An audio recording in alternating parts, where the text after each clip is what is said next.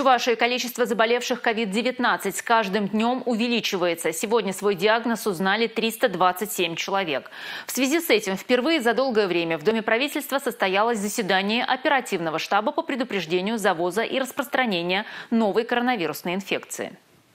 Приближается осень, а значит не за горами не только подъем заболеваемости коронавирусом, но и острыми респираторными вирусными инфекциями. Мы с вами знаем, что после начала учебного года, где-то через недели 2-3, обычно идет традиционно увеличение количества инфекционных заболеваний, прежде всего среди возрастной группы старших классов, младших классов.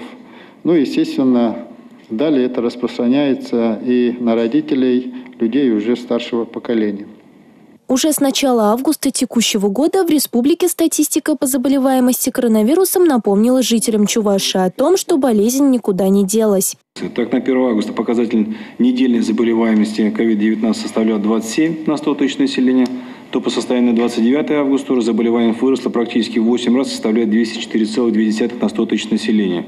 Чтобы предупредить распространение коронавируса, на заседании рекомендовали соблюдать масочный режим в местах массового скопления людей, в транспорте, в закрытых помещениях. Также команда маски, правда в рекомендательном контексте, дана для сотрудников общепита, предприятий бытовых услуг. Самым эффективным способом борьбы с коронавирусом была и остается вакцинация принять меры по увеличению темпов вакцинации населения против коронавирусной инфекции, проведению своевременной вакцинации переболевших и повторной вакцинации иммунизированных. То есть ревакцинацию нужно проводить. Милена Алексеева, Юрий Марков, Республика.